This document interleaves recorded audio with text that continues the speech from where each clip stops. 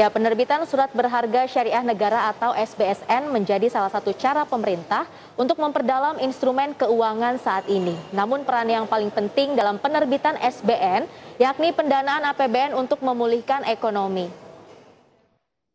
Dalam peluncuran sukuk retail seri SR015, Direktur Pembiayaan Syariah Dwi Irianti Hadiningdiah mengakui Penerbitan sukuk retail telah membantu pembiayaan APBN, apalagi di saat pandemi seperti saat ini. Dengan kebutuhan pembiayaan yang tinggi dalam pemulihan ekonomi, Kementerian Keuangan berharap peran serta masyarakat melalui investasi di SR015.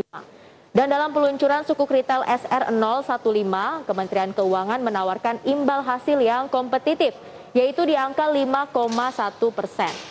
Sedangkan jangka waktu SR015 akan jatuh tempo pada 10 September 2024. Dan selama ini sukuk retail telah berkontribusi hingga 1.800 triliun rupiah pada APBN. Agustus 2008 kita sudah menerbitkan sukuk yang pertama kali dan uh, waktu itu hanya 4,7 triliun dan saat ini setelah 13 tahun kita sudah menerbitkan lebih dari 1.800 triliun yang mensupport APBN.